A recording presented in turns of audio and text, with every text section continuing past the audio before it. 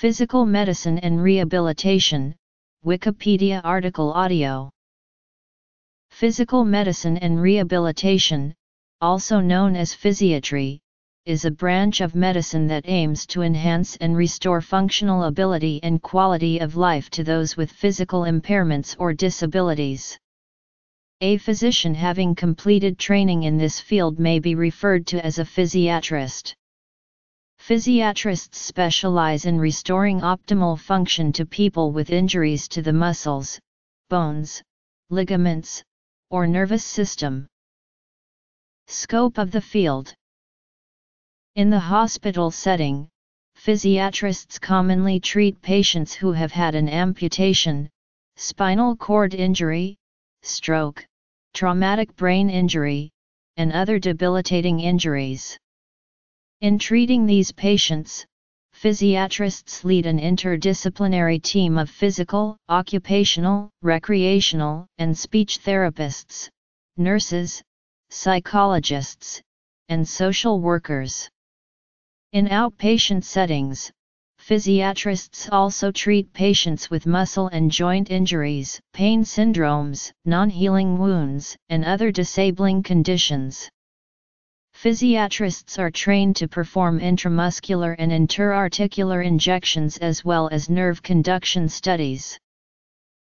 During the first half of the 20th century, two unofficial specialties, physical medicine and rehabilitation medicine, developed separately, but in practice both treated similar patient populations consisting of those with disabling injuries. Frank H. Krusen was a pioneer of physical medicine, which emphasized the use of physical agents, such as hydrotherapy and hyperbaric oxygen, at Temple University and then at Mayo Clinic and it was he that coined the term physiatry in 1938.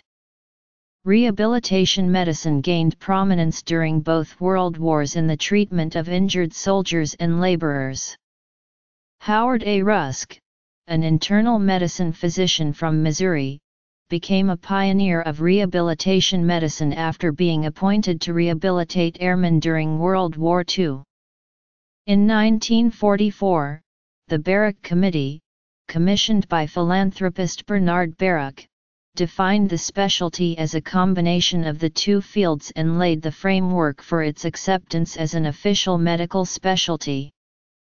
The committee also distributed funds to establish training and research programs across the nation.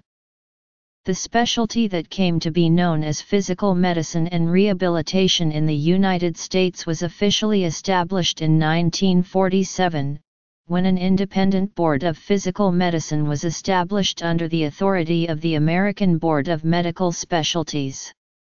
In 1949, at the insistence of Dr. Rusk and others, the specialty incorporated rehabilitation medicine and changed its name to physical medicine and rehabilitation.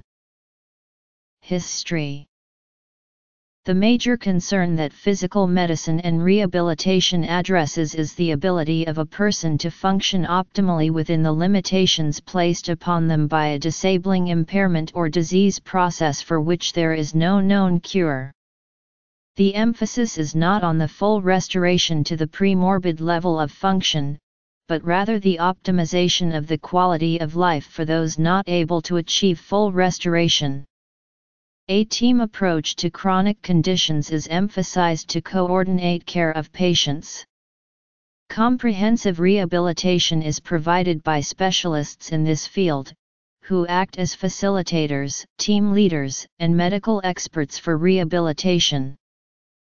Treatment In rehabilitation, goal setting is often used by the clinical care team to provide the team and the person undergoing rehabilitation for an acquired disability a direction to work towards.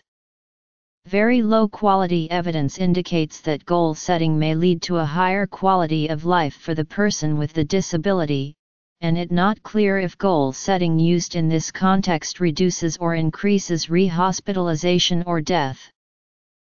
Training Not only must a physiatrist know medical knowledge regarding a patient's condition, but they also need to know relevant slash practical knowledge regarding it as well.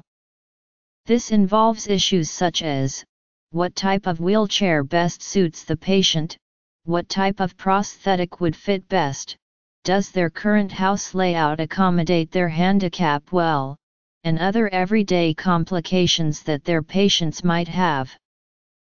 Subspecialties In the United States, residency training for physical medicine and rehabilitation is four years long, including an intern year. There are 83 programs in the United States accredited by the Accreditation Council for Graduate Medical Education, in 28 states. Specifics of training differs from program to program but the base knowledge acquired is roughly the same. Residents are trained in the inpatient setting taking care of multiple types of rehabilitation including spinal cord injury, traumatic brain injury, stroke, orthopedic, cancer, cerebral palsy, burn, pediatric rehab, and other disabling injuries. The residents are also trained in the outpatient setting to know how to take care of the chronic conditions patients have following their inpatient stay.